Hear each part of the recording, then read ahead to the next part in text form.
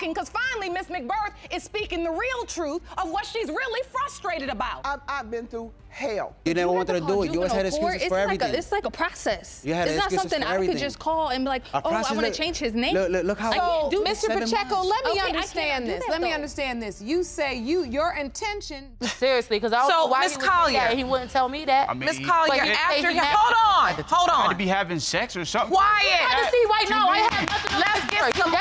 Order. Let's get Ms. Terrell unveils that the dad's moniker is MIA on the birth certificate, hinting he might have been on a snack run, or perhaps abducted by aliens at the crucial moment, which leaves everyone wondering if the baby might hail from a more interstellar lineage. This bombshell drops like a hot potato, sparking a fiery debate that turns the courtroom into a less than stellar episode of Whose Baby Is It Anyway? Oh, My son ain't said His no lie name's like not even on the birth lying. certificate. Stop lying. Okay. Whose name is on the birth certificate? Nobody's. Exactly, because it's Because he went, It could he be was not there It when could he was it could be born. That's baby. the lie. Exactly, I You- could put you- anybody on there, but I didn't. Honey, because you you ain't guys put think enough because of you his own that. Can you believe the turn of events? In a plot twist worthy of a daytime soap, Ms. Jackson spills the beans about a mystery man at the birth, backpedaling faster than a crab on roller skates from her previous tale of a girls only birthing squad. The courtroom buzzes with whispers and side eyes as this twist adds a dollop of intrigue to the paternity pudding, serving up a dish of confusion with a side of raised eyebrows. But just when you thought it couldn't get any more bizarre, the story takes an even wilder turn. Was he there when you had the baby? No, it was another guy. That's why.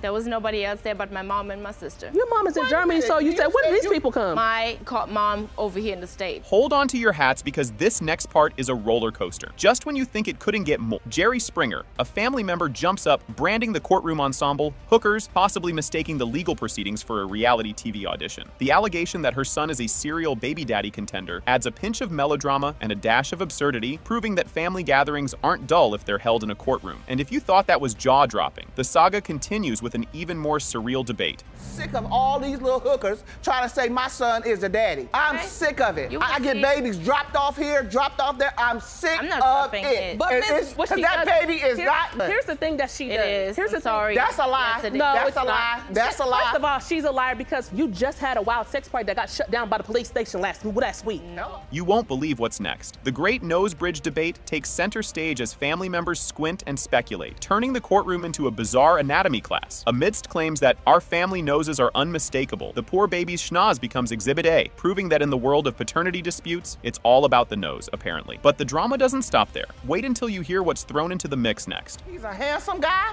He's my son. But he's still, no matter what he do, he's still gonna be my son. When you look at this picture, it seems like your son is kissing the baby. It makes you want to throw It makes me wanna up. throw up because Why? it's a lie. For your son to be kissing an innocent child? The twists keep coming. Ms. Jackson's parenting gets more shade than a beach umbrella as accusations fly about her kid's rotating roster of daddies. It's like a Dad of the Month club, raising eyebrows and questions about whether she's just really into paternal diversity or setting up a bizarre social experiment. Just when you think you've seen it all, the emotional roller coaster takes another steep dive. We're looking at the bridge of the nose. Right. And you're saying none of those match. None of those He match. all of he his doesn't look look alike. nothing, nothing all, like my son. all his all of his Not kids they look they they look alike. His his youngest two, his youngest daughter and his son. The people think that they're twins because they look identical. It was about a month ago. I was coming home from work and I heard her tell another guy who was out in, in the parking lot. She told him, "She's Cash, come on with Daddy, come with Daddy." Heard She him call- called. uh, I've heard him call the dudes daddy though. Let me I've heard that. him, I've heard him say that. The drama intensifies. Ms. McBirth, on the brink of a soap opera worthy breakdown, laments her soap opera worthy life, echoing the exhaustion of anyone who's ever sat through a family dinner that went sideways. Her exasperation is so palpable, you'd think she was auditioning for the role of exasperated woman in a telenovela, highlighting the universal appeal of just being fed up. But the curtain hasn't fallen yet. The finale promises to be a showstopper. Prepare for the grand finale. Judge Lake drops the mic with wisdom that could double as life advice from a wise but slightly sassy aunt, reminding everyone that it's the kid who matters most amidst the chaos. He got Okay, I hold on, no, hold on. take care hold on, stop talking, because finally Miss McBirth is speaking the real truth of what she's really frustrated about. I've, I've been through hell. Every time I look around, it's a baby here, it's a baby there, and I'm the one stuck helping, gotta feed them, take care of the clothes, and, and, and keep them while the mom and daddy either go to work or run the street. I'm glad I'm in this chair, because I get to see the big picture. The big picture of this is she's not sick of the baby, she's sick of you. Because you running around here. No, that. I'm not you running around here, you having babies. She just said it.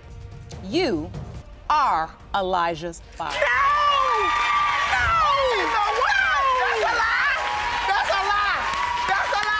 Mr. Hendricks, with the drama turned up to 11, professes his undying love and eagerness to play peekaboo and change diapers, despite the looming shadow of the paternity test that threatens to cast him in a non-biological role. Amidst his poignant soliloquy, he humorously contemplates whether his future involves being the cool uncle instead of dad, underlining the tragicomic essence of his predicament. The tension rises as Mr. Hendricks, perhaps naively, plans a future family barbecue, all while wrestling with the fear that he might just be the guy who brings the potato salad. Oh, I love that I, I love him, that I want to be there for him. after I Before I, go to jail, please keep in contact with me and all that type of things. And ways I feel heartbroken. And then I was like, yeah, that's what started giving me more doubts. After gaining more doubts about the situation, you know, Mr. Hendricks here that's inside of me, you know, he started to, one day we No, went that's out. not true. and you know he started telling me things about oh, that he's seen the ex-boyfriend uh, you know at the house or while at the time that me and her was talking and that for me it broke my heart you know because i do love her you know i do want to be with her and i do tests do come back saying that that is my son you know what i'm saying? Because Can you believe the intensity of that moment? Ms. Hendricks, amidst her pregnancy blues, feels the sting of isolation and battles rumors with the ferocity of a soap opera queen, highlighting the melodramatic whirlwind stirred by Mr. Hendricks' exit. As the family grapevine buzzes with gossip, Ms. Hendricks finds herself the star of a low-budget drama, pondering whether her next role will be the misunderstood heroine or the villain. When Mr. Hendricks steps into the birthing room, it's like a scene from a reality show where the stakes are high and the drama is higher, illustrating his emotional roller coaster amidst the family circus. But just when you think it can't get any more dramatic, hold on for the next scene. part you know says rumor here rumor there No, Your Honor, over there was a rumor when I was seven months pregnant. That's when it came from my own brother. He thought that he was possibly not the father, which was very depressing. He came to the hospital with me. I didn't see him since I was seven months into the. He was in a room with me. a family member of hers says oh that's the mailman's baby No. you know that for While me you were My at the son- hospital? no that's when we had a, a little a family gathering just when we thought we'd seen it all. The narrative thickens as the couple wades through a quagmire of hearsay and heartache, with their love story teetering on the edge of a tabloid-worthy plot twist. Their journey, rife with theatrical tension, could give reality TV stars a run for their monies, as they parse through a tangled web of he said, she said, under the unforgiving spotlight of suspicion. Mr. Hendricks' heartache over his ex's cameo in this saga adds a layer of irony as he navigates the blurred lines between past passion and present predicaments. But the drama doesn't stop here. The courtroom awaits with even more surprises. that her family member came and said And light skin. said, "Oh, that's the mailman's baby." My reaction when they said that, I was mad.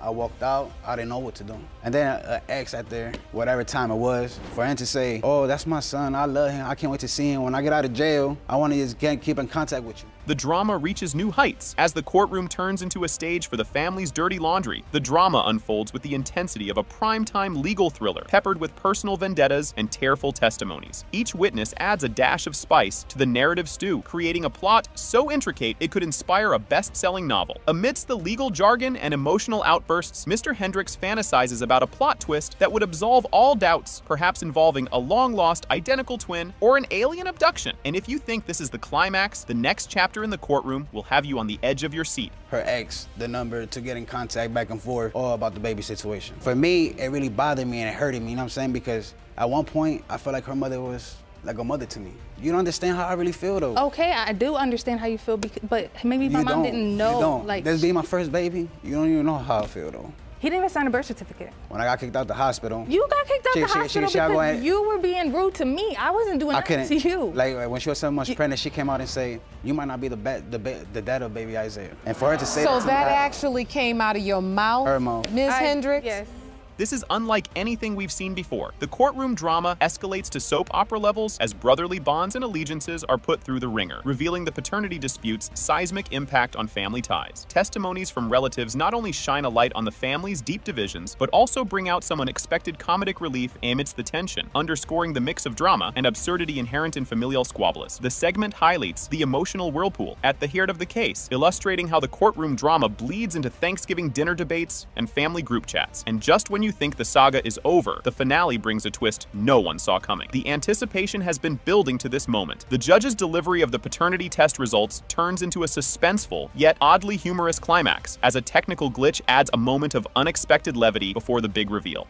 The baby, you know, got relieved from the hospital, whatever. I tried, when I got kicked out, I tried to sign the birth certificate. If you see, his name is Isaiah Hendricks, it's not I, Isaiah Pacheco. You wasn't if there. I mean, but yeah, but every time I called you and I told you for us to How make an am I supposed- appointment, okay, you but never you wanted to do it. You always had excuses It's for like a- everything. it's- you had it's not excuses something for I could just call and be like, oh, I process want to change his name. Look, look, look how. I can't do So, this. Miss Stand Do this. that, Let me understand this. You say you your intention the day you were in the hospital was to sign that birth certificate. Yes. What happened that prevented you? You got thrown out? Yeah, I got kicked out. Because you all had a Yeah, disagreement. uh, like a little. And I kept it was a petty "Be quiet, disagreement, or you're though. about It to was. end up leaving," and she, he she, kept going. She kicked me out.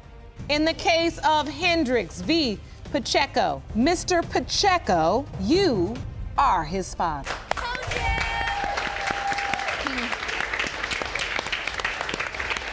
That's good. My nephew has a father. That's good. Ms. Knight spins the yarn of her pregnancy saga with a flair that almost makes you forget the gravity of the situation. She jokes that her love life is so complicated, it could have its own reality show spin-off, keeping up with the paternity. As she recounts the flip-flopping affections and bewildering decisions, she wryly notes that even a seasoned soap opera scriptwriter couldn't have penned a more convoluted plot. When discussing how both potential dads reacted, she deadpans. At least nobody's on the run, yet turning a tense narrative into a cheeky cliffhanger. Yes. But you knew all the while, deep inside, that you had cheated on Mr. Davis with Mr. Bailey. Yes. And so Mr. Davis passes away. At that point, do you tell someone about this secret? The only people who really knew was Mr. Bailey's, some of his family members. No. So, Mr. Bailey, you and your mom are here in court today. Yes, Your Honor. Do you remember hearing that she was pregnant with Jamari, an older child? No, I knew she was pregnant with Jamaria. The hospital scene unfolds with Mr. Patterson donning the role of an overly eager, perhaps misguided, protagonist in the birthing saga. When the naming dispute arises, Ms. Knight humorously suggests that they compromise and name the baby Maybe Patterson, keeping their options open. She quips about starting a new trend in baby naming, keeping it ambiguous until all paternity doubts are cleared. Amid the high stakes of naming their newborn, she muses, well, at least we're not considering Baby McBabyface, lightening a tense moment with her wit. But hold on, the drama escalates in the next scene. When I first found out I was pregnant, I didn't have the guts to even tell Corey that I cheated because I was like, you know, I was in love with that man. So when I told Mr. Bailey, I told him second after I told Mr. Davis. And what Mr. Bailey said was, that's that's my baby. Did you say that, Mr. Bailey? Did you say that's my baby? No, how I'm gonna Excuse say me. that's Him my and his cousin was saying that. Excuse me, Him can and I his say cousin. something? How am I gonna say that's my baby? Because you know you I slept know. with me. Because you Wait, know yeah, I you slept slept with with you, me. but that's not my baby. Can I- Is that Mr. Bailey's son? You said no, it's not. I don't know. That's why I'm here. Just when you thought it couldn't get more complicated, as the child grows, both Ms. Knight and Mr. Patterson harbor doubts about the child's paternity, with observations and comparisons made to Mr. Sigler. The family's dynamics are further explored, revealing a communal approach to raising the child despite the unresolved paternity. Their interactions hint at underlying tensions and the child's complex relationships with the adults in his life. Amidst this chaos, Aunt Betty, who's known for her nosy nature and wild conspiracy theories, suggests a family talent show to lighten the mood, claiming it might even reveal the child's true lineage based on talent alone. After all, didn't Uncle Joe juggle oranges just like the little tyke? And you won't believe what comes next. Did you ever tell Mr. Davis's family that it was a possibility that he was not Jamari's biological father? Nobody know that. Nobody. I oh. never had the guts enough to hmm. even, you know what I mean? That's why I'm here today, honestly. Because I kept that secret for so long. I was young. I didn't know how to say it. It would hurt. You know what I mean? He dead now. So he's saying he don't know if he could be the dad. What he told me Friday was, if both of these kids come out mine, I'm going to marry you. That junk getting on my nerves. Well, listen, I know you are upset and I know this is hard and I know this has been a lot of stress. In a twist no one saw coming, the court reveals the results of the paternity test, confirming Mr. Sigler as the biological father, which brings a mix of relief and heartache. Mr. Patterson expresses his emotional turmoil, but acknowledges the importance of the truth for the child's well-being. The reveal prompts a re-evaluation of familial bonds and legal responsibilities, emphasizing the need for honest and constructive future interactions. Meanwhile, the family dog, Whiskers, seems to accept Mr. Sigler with newfound respect, almost as if he understood the human drama, wagging his tail in what appeared to be a canine nod to paternity confirmation. The emotional roller coaster doesn't stop here. Prepare for the emotional fallout to hit its peak. Following the paternity revelation, there is a significant emotional response from all parties. So we got that out the way. But what we don't get out the way is Josiah being your son. And he's definitely your son. And like I said, you're going to see today. You're Yeah, going to we'll see see. today. So, so Ms. Laws, just to be clear, you told him unequivocally that Josiah is his biological child. Yes, Your Honor. The question was about Jamari. Yes, Your Honor. Then in my mind, there's a question about Josiah. Yeah. And that doubt is probably fueled by the fact that Miss Collier has testified to the fact that her brother said before his passing that I have another baby on the way. Right. I'm confused too. Seriously, because I don't So, know why Miss he would say Collier- He wouldn't tell me that. I mean, Miss Collier, But he- after he he, had- hold on, hold Had to be having sex or something. Quiet. How does he right now? I have nothing Let's get some order. Let's- The biological father is Mr. Bailey.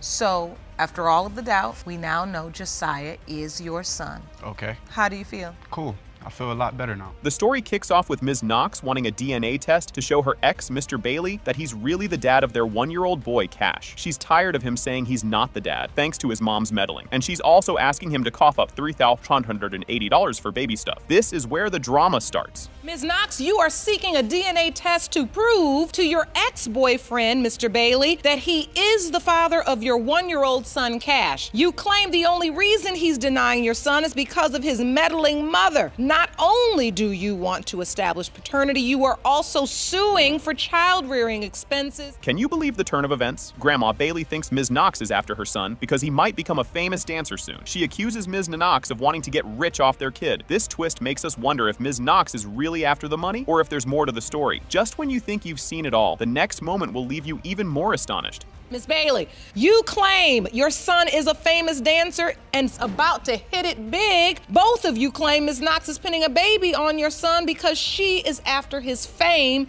and future fortune.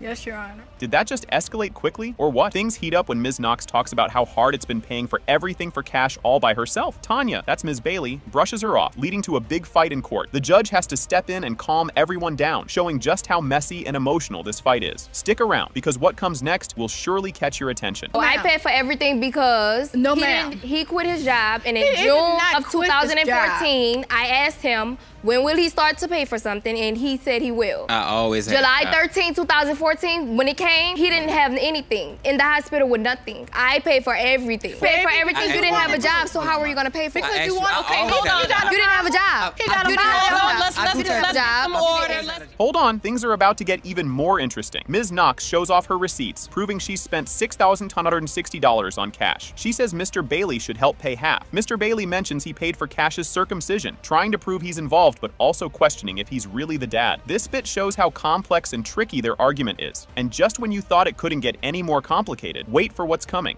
I haven't seen anything from it, um, Mr. Bailey. So these are receipts for A car seat, walker, a stroller. car seat, swing, baby expenses. They total $6,960. Yes, ma'am. Half of which is $3,480, which you say he would be responsible for. Yes. You won't believe what happens next. Mr. Bailey starts doubting he's Cash's dad because of Ms. Knox's text with other guys and her social life. This gossip adds another layer of drama and makes us question who's telling the truth. The saga continues with an even more shocking revelation up ahead. What? What kind of tweet is this, Mr. Bailey? It's a joke because who who does that? Like, what type of fun? I have two You, kids. you you wrote I have it. two kids. No, did you I tweet have two this? Yes, ma'am. I have two. What kids. is it about? I mean, it was, it's me making a joke. Like, I have two kids. Like, who does that? Who keeps receipts? I don't keep receipts on my children. Like, I don't. You know what I'm So saying? I'm what, not the you're being father- I never sarcastic had- in this right, tweet? Right. Your Honor, Look, I never. Mr. Bailey, I want to understand your doubt because you say you're at the hospital. You went through the pregnancy with her. Yes, ma'am. You signed the birth certificate. Yes, ma'am. So when did you start doubting?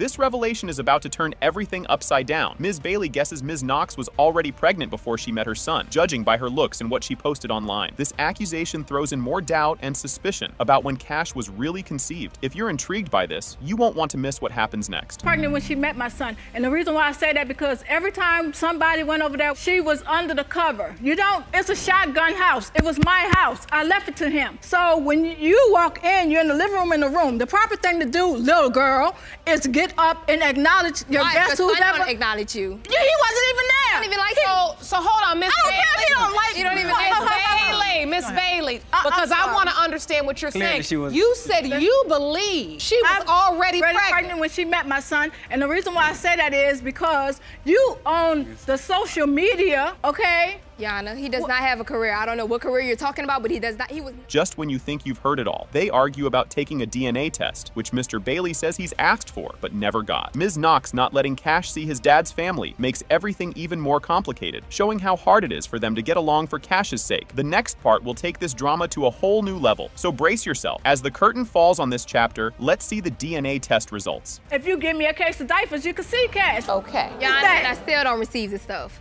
The reason why I don't give them to him because first off, their house is not even properly. It's not even a house. It's dirty. It's filthy. It's. it's You lie. You didn't. I still don't trust my child with you because You you didn't raise your own child. So I have I have Yes, problems. you are a If you didn't raise girl. your own kids. Why would I let freely just give my child to you? It has been determined by this court, Mr. Bailey, you are Cash's father. You seem emotionless. How does That's it my feel? son. I'm, I'm, that's my son. I'm gonna uh, move forward with, you know, what I gotta do as a father, and I'm not gonna